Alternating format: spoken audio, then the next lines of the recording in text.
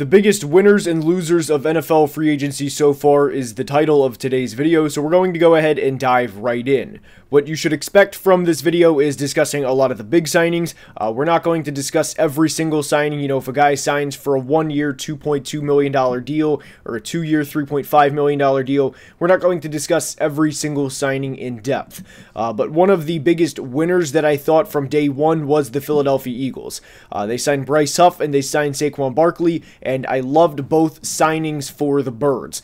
Uh, they needed some help at running back, especially after D'Andre Swift went to the Bears. They needed some help at pass rush after Haason Reddick requested a trade this offseason, or at least Philly was exploring trades. And Howie Roseman generally cooks this time of year, and to acquire both players for three year deals without a lot of guarantees. I know 26 million may seem like a lot for a 27 year old running back, but I still think the Eagles' offensive line will be good, even with the retirement of Jason Kelce. And uh, I thought the Eagles were one of the biggest winners from day one. I know some Eagles fans at times, they get a little leery of Howie Roseman, but generally speaking, I think he has, uh, you know, everything in the right place, and I think that a lot of what Philly does is right a lot of the time. Not 100% of the time, but a lot of the time I like what they're doing, and I like the signings of Barkley and Bryce Huff. Two impact positions, and I specifically liked the meme of the Eagles going from Charmander to Charmeleon to Charizard. Now with Miles Sanders being Charmander,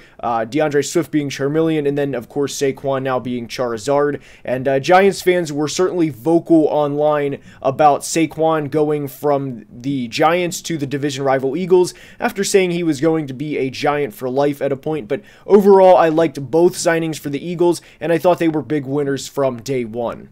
Now, unfortunately, I think one of the biggest losers from free agency in day one was the Miami Dolphins. They lost a couple of guys, and what also needs to be remembered in losing Christian Wilkins and Andrew Van Ginkel specifically is not only are they losing two good players there, but they also have Bradley Chubb and Jaelan Phillips coming off of major injuries towards the end of the year, and there is a very I don't want to say good chance, but there's a decent chance that both guys aren't 100% to start week one for them in the 2024 season. And you're already in a very unforgiving conference in the AFC. So you're going to potentially have your top two edges out for maybe at least a week, maybe a couple of weeks to start the 24 season. Now you lose two more guys along the defensive line, and this overall was a very tough start for Miami in 2024 free agency, but it's also going to significantly impact them early in the year, and for their sake, I really hope they play, you know, some of the cellar dweller teams. You know, we saw them beat up on a couple teams last year like the Panthers and like the Commanders,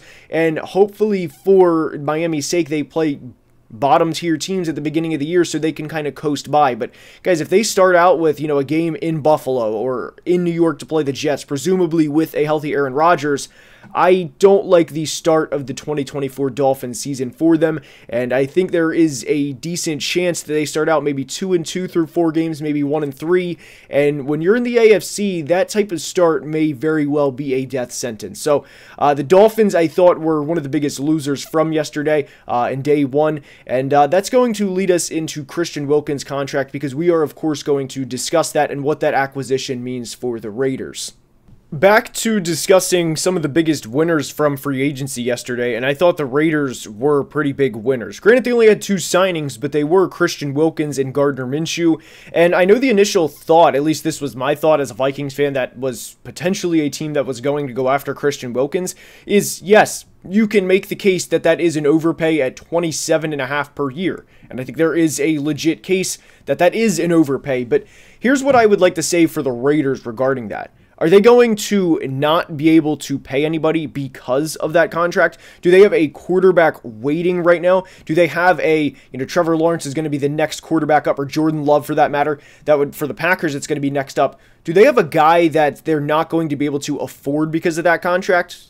No. So overall, I love that. I love that deal for the Raiders. And not only that, but now we have Christian Wilkins, we have Malcolm Koonce, we of course have a pretty good player by the name of Maxx Crosby along the defensive line, and oh yeah, they also have 2023 number seven overall pick Tyree Wilson. So I've said this a lot during mock draft videos for the Raiders, and I think they are going to go with an offensive tackle in the first round uh, to really kind of zag while everyone else zigs. And I think the Raiders' philosophy in terms of what they're going to do this year is to continue to get after the quarterback and play smash mouth football. And I think in some ways they're going to try and do what the Lions have over the past couple of years, where they're going to win the game in the trenches. And while it may not make the most sense now, or it may not look the prettiest now, kind of like the Lions were a couple of years ago, I really like the long term vision of what Tom Telesco and what Antonio Pierce are building. And I know they spent 110 million on Christian Wilkins, but breaking news, guys, with the increase in salary cap, of course, with TV contracts and everything,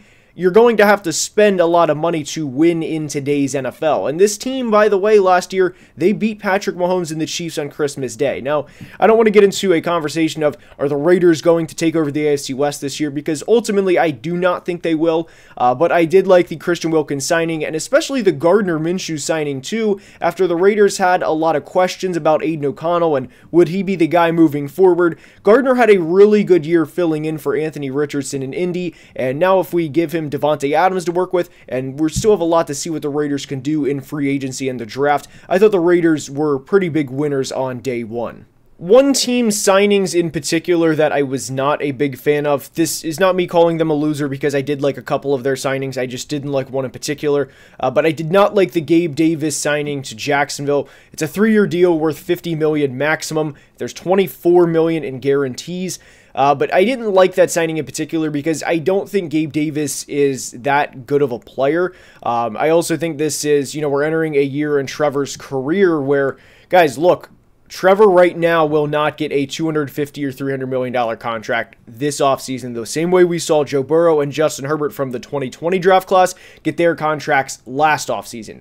And I think this is kind of a half-assed attempt to let's push our chips to the center of the table and oh well we tried, you know, look, we gave Trevor Gabe Davis and we and we tried to tried to help him out. I, I don't like that signing. However, I did like the Mitch Morse signing a lot. I also like the Darnell Savage signing a lot for them, uh, at least for what the value is for Darnell Savage. But uh, Mitch Morse, I liked. Gabe Davis, like I said, I just I hope Jacksonville still goes receiver in round one now that they have Mitch Morse. Uh, I had mock Jackson Powers Johnson to the Jags for a reason, and I hope Mitch Morse can at least be that stopgap guy for at least a year, hopefully two years like the contract he signed. Um, but if the Jags do not go receiver in round one and they choose to let Gabe Davis be the number two for them behind Christian Kirk this year, then I will have a lot of uh, feedback regarding that decision for GM Trent Baalke. I know Jags fans are they have mixed feelings towards Trent Baalke. I know a lot of people didn't like that hire to begin with, uh, but Gabe Davis was not a I was not a fan of that signing at all. And like I said, we're at a pivotal year for Trevor, and now that we have Mitch Morse for them, I really really hope they go with a receiver in round one to do everything they can to help out Trevor Lawrence because they are entering that pivotal year for him, entering year four. I will say one of the biggest winners from free agency yesterday was not only the Carolina Panthers, but Bryce Young. I absolutely loved Carolina going to get both Damien Lewis and Robert Hunt. And guys, we're at the point now, and I'm, I'm glad that NFL teams have, have circled back around to this. Uh, but interior offensive line play is getting the love and recognition it deserves. Uh, we've seen the Chiefs win a couple of Super Bowls over the past few years, due in large part to Joe Thuney, Creed Humphrey, and Trey Smith, and it's due to the belief that if you can keep the interior part of the offensive line or the interior part of the pocket clean and have a quarterback be able to step up, that is in some ways more beneficial than having the exterior, you know, with both tackles uh, being good. Not to say that tackle play is not important because it obviously is, but you get you get where I'm going with this belief. And for Carolina to spend 150 million dollars and hopefully shore up both guard positions uh, for the next couple of years, you know, with their quarterback already being undersized as it is.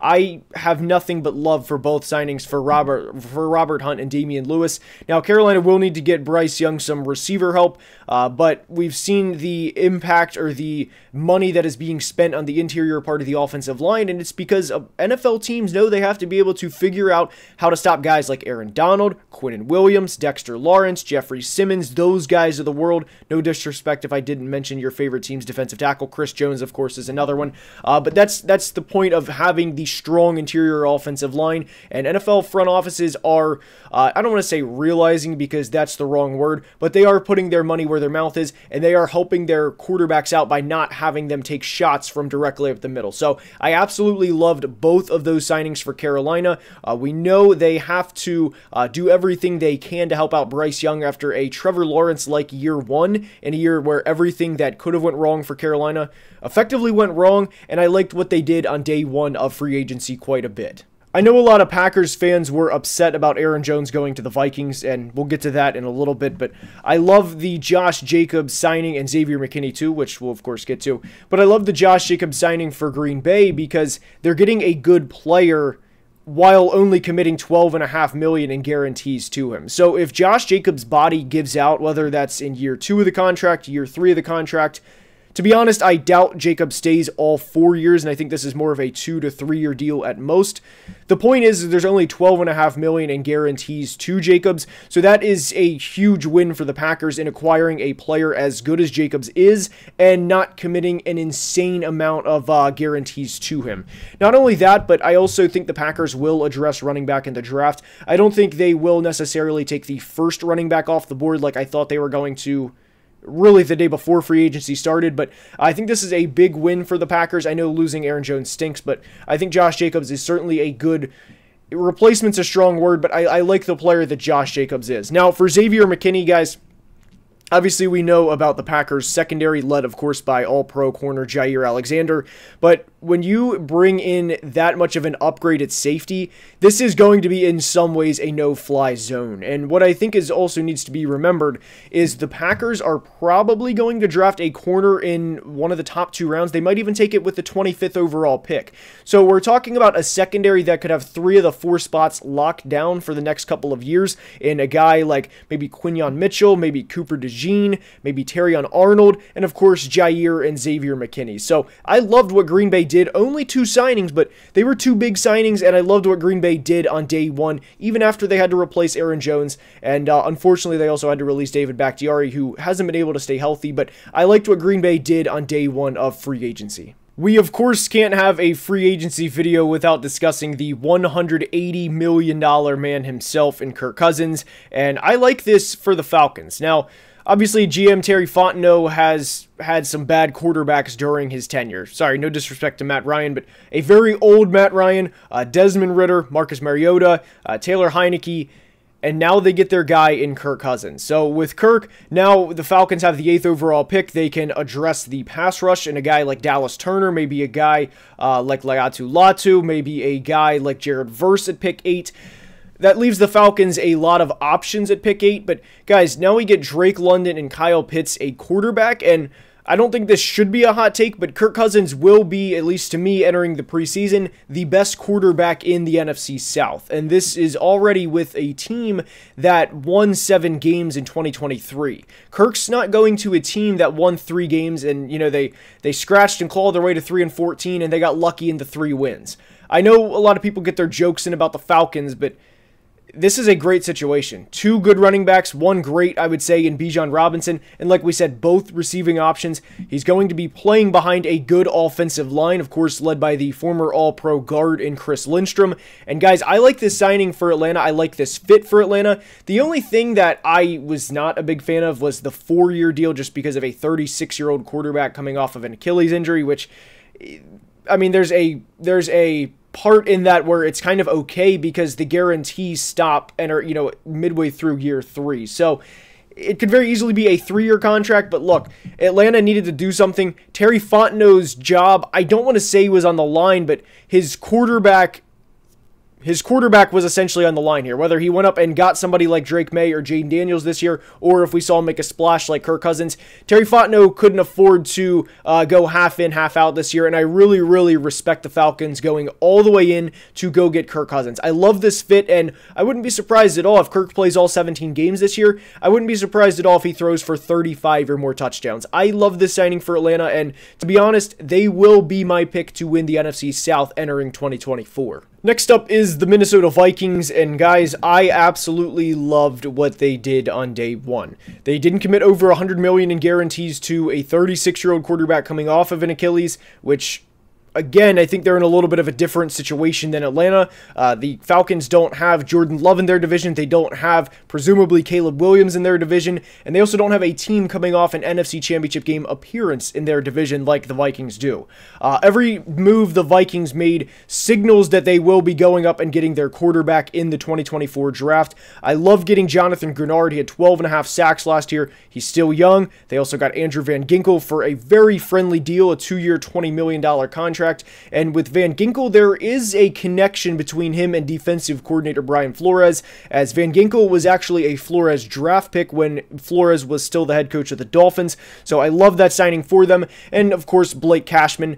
Now, I wouldn't expect anybody watching to have watched the channel several years ago when Blake Cashman was a draft prospect, but I loved Blake Cashman when he was coming out of Minnesota, so it was cool to see Cashman you know, a prospect that I liked in the draft process go to my favorite team several years later. So I love that, and I really think the Vikings got three upgrades on defense for a unit that desperately needed it because the 2023 Vikings defense, while it was fun and while it flashed at times, a lot of the players on that unit were they weren't very good, and now we're getting Flores more weapons to work with, all with a presumable rookie quarterback under a team-friendly contract. So I absolutely loved what the Vikings did on day one, and technically they signed Aaron Jones on day two uh, to a one-year, $7 million deal, and Aaron Jones, guys, he has killed the Vikings several times over the years. I love this deal for Minnesota, and the thing is, is it's only a one-year, $7 million deal, so if it doesn't work out and Aaron Jones' body is, you know, broken down like we see with a lot of running backs,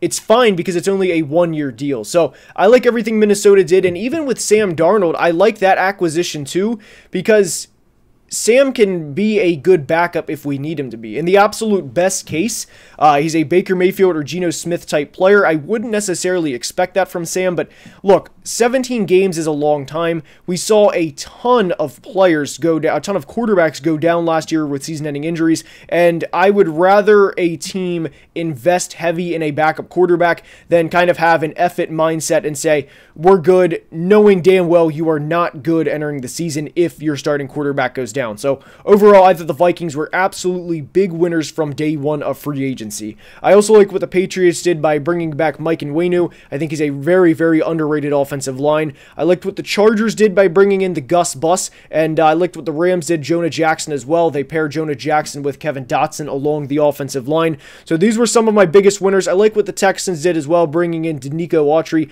a veteran who has had, I want to say, over 20 sacks in the last two years, and even Aziz Al-Shaair. I, I, liked what a lot of teams did, even Cleveland for that matter, bringing in uh, Jordan Hicks and Za'Darius Smith. But guys, I hope you enjoyed, and if you did, please like and subscribe. It's only about 28% of people watching are subscribed. that's going to wrap up today's video. So until next time, please be safe and have a great day. Love you guys.